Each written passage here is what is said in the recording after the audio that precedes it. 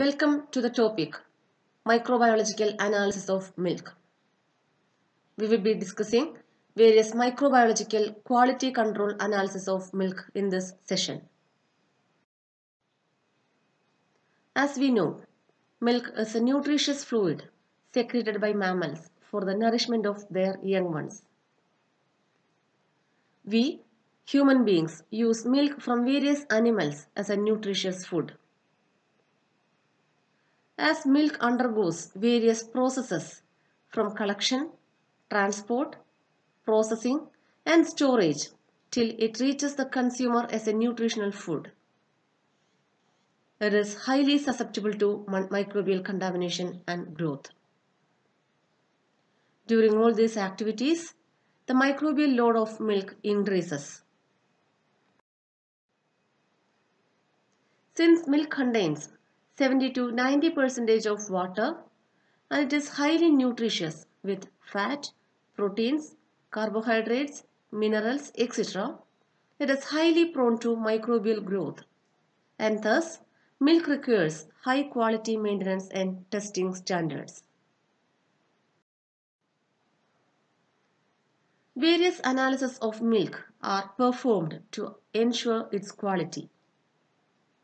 The main among them is the platform test or milk reception test which are performed immediately during raw milk collection or reception.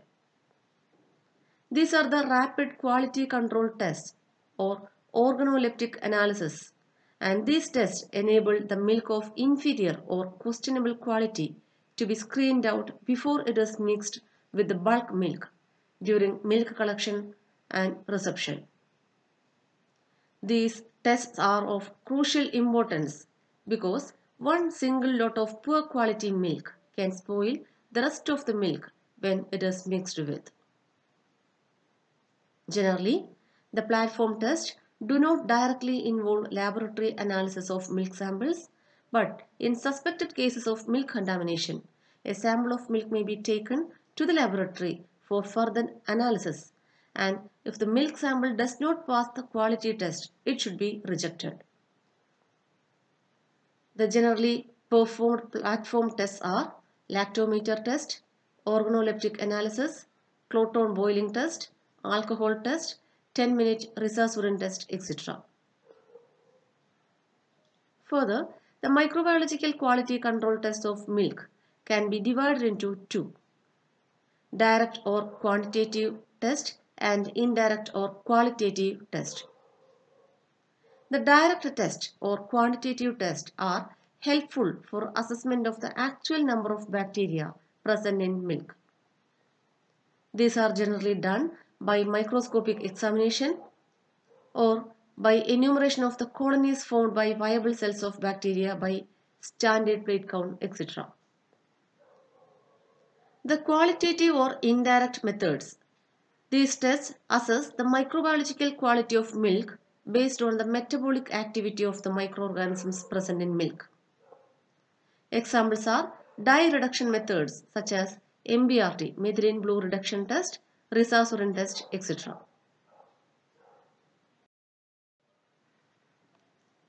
Coming to the various quality control tests for milk, there are lactometer test, organoleptic test, temperature, determination of temperature, determination of pH, Clot-on boiling test, alcohol test, test for the acidity of milk, sediment test, 10 minute resazurin test, alizarin alcohol test, direct microscopic count, methylene blue reduction test, alkaline phosphatase test, 1 hour resazurin reduction test, standard plate count of milk, coliform count, enumeration of other types of bacteria, enumeration of yeast and mold, etc.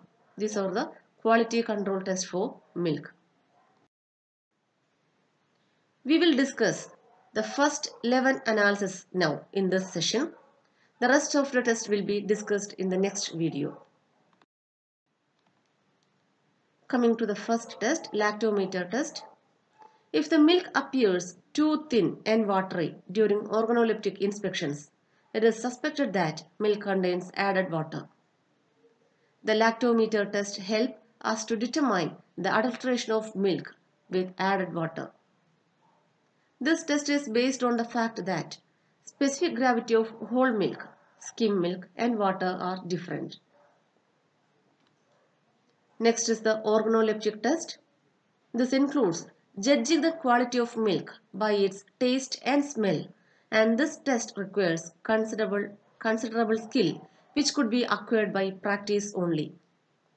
An experienced person can pick out bad milk samples accurately. The next is the measurement of temperature. The temperature of milk is measured by using a standard thermometer. The next is the determination of pH. The pH value or the hydrogen ion concentration gives a measure of the acidity of milk. The pH of normal milk ranges from 6.6 to 6.8. The pH of milk can be determined rapidly by using pH indicator strips. Reduced pH value will be due to the development of acidity while Higher or alkaline pH indicates that the animal from which the milk was obtained is suffering from mastitis. A reduced or a higher value pH indicates a bad quality milk.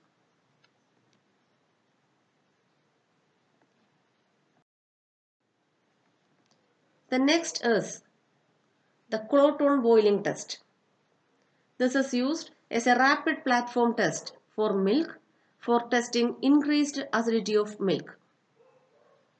This quick test helps us to find out the suitability of milk for pasteurization, boiling, etc. for heating treatments. This test is performed by heating a small amount of milk in a test tube over a flame or by immersing in boiling water, water bath for 5 minutes. Heating will precipitate proteins of the milk if the milk is sour or acidic. If the side of the test tube and the film of milk shows any precipitated milk particles or clots, it indicates a positive Clot-on boiling test, which further indicates that the milk has a developed acidity above 0.17 percentage. Such milk should be rejected or handled separately since it will get curdled during heat processing. If no coagulation occurs after heating, it means a negative Clot-on boiling test and it indicates that the milk is of good quality and can stand heating operations such as pasteurization.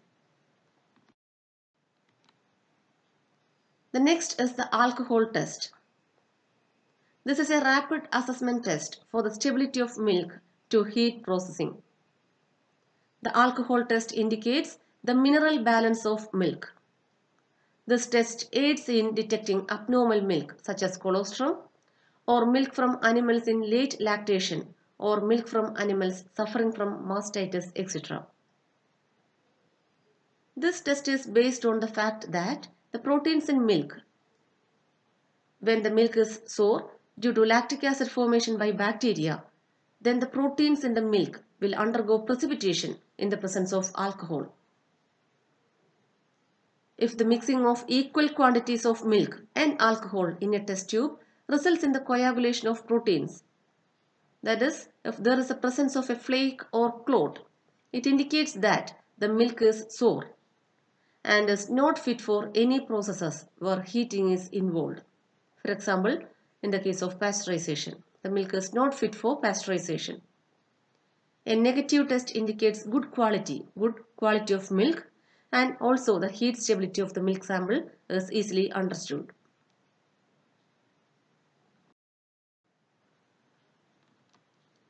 Next is test for the acidity of milk. The titrable acidity of milk is estimated to ascertain its keeping quality and heat stability. This test measures the amount of alkali that is sodium hydroxide required to change pH of milk from its initial value to a pH value of 8.33. This is done as a titration using the indicator phenolphthalein. The titrable acidity is calculated as lactic acid per 100 ml of milk which is equal to 0.9 Vn where V is the volume in ml of the standard sodium hydroxide solution required for titration of 10 ml of milk sample and, and N is the normality of the standard sodium hydroxide solution. The normal range of acidity of milk varies from 0.1 to 0.17 percentage lactic acid. Any value in excess of 0.17 percentage is considered as the developed lactic acid. Next is the sediment test. This reveals the extent to which visible insoluble matter is present in the milk. This is a simple, rapid and quantitative measurement that indicates the cleanliness of milk. The test is carried out by allowing a measured quantity of milk to pass through a filter disc and observing the sediment left in the filter by comparing it with standards. The presence of appreciable amounts of sediment in milk indicates careless or insanitary dairy farm practice. However, the lack of sediment is not always indicative of ideal conditions since visible sediment may be readily removed by straining at the farm. Next is the 10 minute Resazurin test. Resazurin is an oxidation reduction indicator which is blue in the oxidized stage and upon reduction it will first turn irreversibly into a pink compound resorufin and then reversibly into the colorless dihydroresorufin. The reduction may be due to metabolic activity by bacterial cells or other, other cells such as leukocytes which may be present in mastitis milk. The reduction from resazurin which is blue in color to resorufin which is pink in color in a milk sample can be matched with standard color disc in a comparator. The rate of reduction of resazurin is governed by the extent of bacterial activity in milk or it denotes the extent of leukocytic cells. The leukocytic cells are present in milk where the animal have the mastitis condition.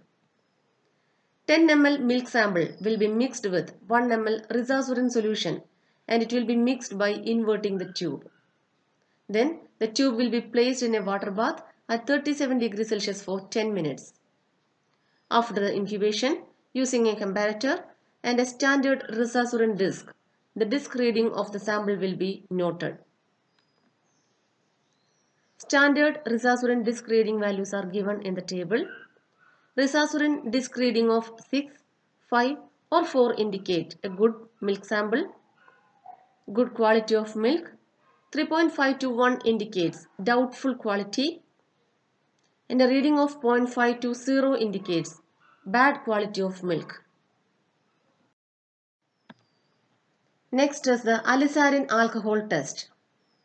The stability of milk to alcohol or high temperature is affected by the developed acidity or sweet curdling as a result of bacterial growth, disturbance in the normal salt balance in the milk, and abnormal chemical composition of the milk as in colostrum, late lactation or mastitis milks. The alcohol test is used to assess the stability of milk to heat processing. The addition of alizarin along with alcohol helps to find out whether the milk is acidic or alkaline.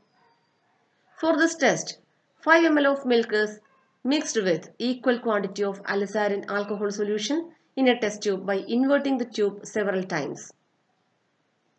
The color of the mixture and the presence of flakes or clots and the size of the flakes will be observed. The presence of flakes or clots indicates poor heat stability and unsatisfactory quality of milk as can be seen from the table.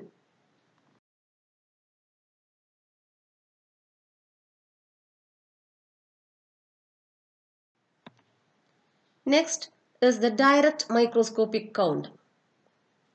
This is a quantitative test to assess the microbiological quality of milk by counting the actual number of bacteria present in milk.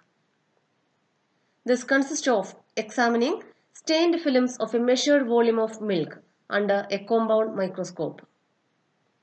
Generally, 0.01 ml of the milk will be spread on a glass slide over an area of 1 square centimeter. The number of bacteria in different microscopic fields will be counted and it will be used to calculate the number of bacteria per 1 ml of the milk sample. Since the number of microscopic fields occurring in 1 square centimeter area of the smear will vary with different microscopes.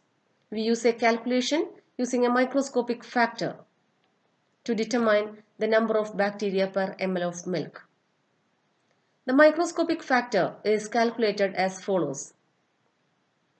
Area of smear divided by area of microscopic field multiplied by volume of milk, where R is the radius of the microscopic field which varies with different microscopes and lenses. This method is not suitable for the examination of pasteurized milk since dead cells are also counted in this method. For this test, 0.01 ml milk will be spread evenly over 1 cm square area marked in a glass slide. The smear will be dried and stained using Newman's stain for 1 minute.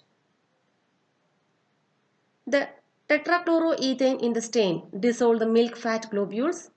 Ethyl alcohol fixes the smear and methylene blue stains the microbial cells. After staining, the smear will be observed under oil immersion objective. Any isolated single cell, pair of cells or clump of cells will be counted as a clump. The field for counting are selected at random. The number of fields to be counted depends upon the number of cells per field. The average number of clumps per field will be multiplied by the microscopic factor to obtain the direct microscopic count per ml of milk. Grading of milk based on direct microscopic count is given in the table. A microbial count less than 5 lakh indicates good quality milk. 5 lakh to 40 lakhs of microorganisms indicate fair quality of milk. A count between 40 lakh to 200 lakhs indicate poor quality of milk and if the count is over 200 lakhs, it indicates very poor quality of the milk. We can also assume the source of contamination of the milk using the results of direct microscopic count. The presence of cocci and rods in clumps and patches indicates the improperly cleaned milk utensils used for the milk processing. Excessive numbers of rod-shaped bacteria and spores indicate the exposure of milk to dust and dirt.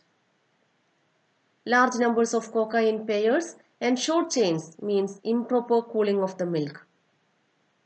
Large numbers of leukocyte cells together with long chains of cocci in the milk sample indicates mastitis infection of the animal. So we discussed various tests such as lactometer test, organoleptic test, determination of temperature and pH, Clot-on boiling test, alcohol test, test for the acidity of milk, sediment test, 10 minute resazurin test, alizarin alcohol test and direct microscopic count. We will discuss the rest of the milk quality analysis in the next session. Thank you so much for listening.